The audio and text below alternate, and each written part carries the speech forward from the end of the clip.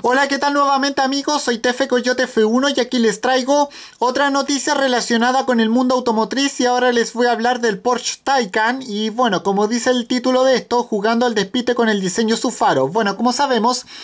el primer eh, modelo 100% eléctrico de la marca Porsche con la cual la marca alemana de Stuttgart quiere competir más estrechamente que nunca con la pionera en autos eléctricos, la estadounidense de Silicon Valley Tesla bueno, ha vuelto a caer en manos de, de, de, los espías de, esta página web, eh, Driver, y bueno, y ahora con un camuflaje de lo más peculiar, y ahora vamos a hablar de aquello. Bueno, bueno como sabemos, el nuevo Porsche Taycan eh,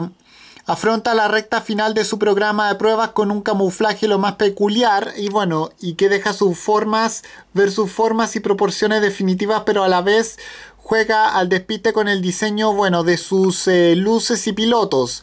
No hay que dejarse llevar por la impresión que causan bueno, los adhesivos que el equipo de desarrollo de la marca Porsche ha situado en estas zonas porque bueno, su única función es la de modificar eh, la, la, la, percepción de los mismos que serán tan afilados y similares a los del Concept Mission E como se muestran a través de los teasers de la propia automotriz. Bueno, en, en, estas imágenes oficiales con un camuflaje que hace clara alusión a la electricidad, bueno, ya se vio estos rasgos del Taycan que ahora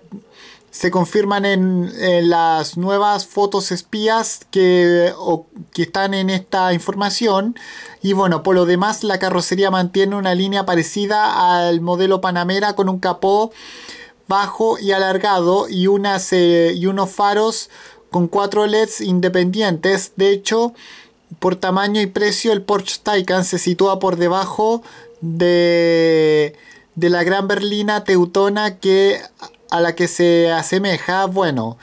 en la parte trasera también se aprecia eh, la clara influencia de la marca con rasgos parecidos al icónico modelo 911, tal y como revela eh, las imágenes que se aprecian, en la que se aprecia su intermitente accionado eh, en el piloto izquierdo real, lo, no, el, no el que simula el adhesivo de lo que lo rodea. Bueno. Bueno, eh, el primer modelo totalmente eléctrico de Porsche está cada vez más cerca y su intenso programa de desarrollo va a llegar a fin del verano del presente verano europeo. Y bueno, y si todo marcha sobre lo previsto, se va a revelar en septiembre y llegará al mercado en el año 2020, poniendo así eh, sobre la mesa una de las mayores apuestas de la firma alemana de Stuttgart en toda su historia. Bueno. El Taycan, eh, cuyo nombre significa caballo joven enérgico, eh, y hace referencia al que parece el centro en el escudo de Porsche desde 1952. Bueno, ha supuesto una inversión de 6 mil millones de euros, algo así como, eh, algo así como 8 millones de pesos chilenos. bueno, de todo esto, de todo este montaje, mil, millones irán destinados a la electrificación de la gama existente, 700 a nuevas tecnologías, infraestructura de recarga y movilidad inteligente, 500 para el desarrollo de nuevas variantes del Taycan, una previsiblemente con carrocería más elevada y ciertas altitudes aptitudes eh, off-road y el resto eh, para la expansión de los centros de producción. Bueno, como sabemos, la, gama inicial de este modelo se compondrá de tres versiones. El Taycan a secas, la cual va a costar 78 eh, 78.500 euros, algo así como 76 millones de pesos chilenos.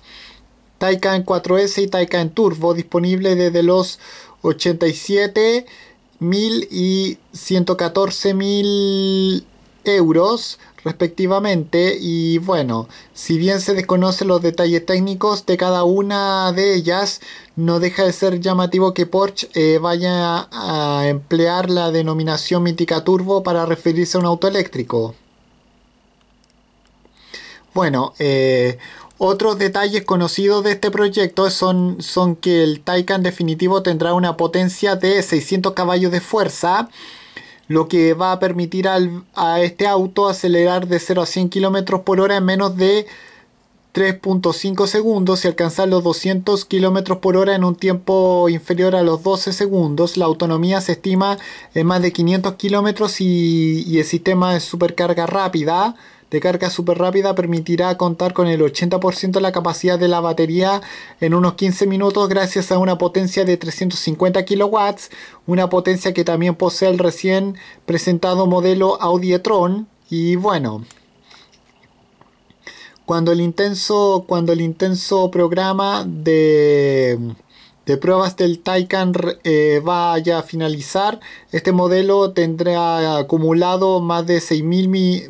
más de 6 millones de kilómetros recorridos combinando países